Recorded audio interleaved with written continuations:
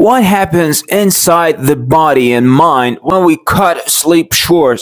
Wake up at 4, 5 a.m. in the dark and suddenly feels like every system, like our heart, our stomach, and muscles are malfunctioning. Waking up before your natural circadian rise forces the body out of deep sleep physiology, meaning your nervous system is still in night mode, causing heaviness, shakiness, and strange body sensation. The other thing is, stress hormones such as cortisol haven't peaked yet. They normally rise closer to sunrise, so without that natural morning boost, your heart rhythm and blood pressure feel unstable or off. The uh, digestive system, on the other hand, remains in parasympathetic slow gear, so your stomach reacts with nausea, tightness, and emptiness because it wasn't scheduled to wake up yet. Muscles and joints feel weak or painful because growth hormones and tissue repair cycles are interrupted. Your body literally didn't finish the maintenance before you force it online. Sleep restrictions disrupts the emotional regulation networks. So your brain exaggerates physical signals like fatigue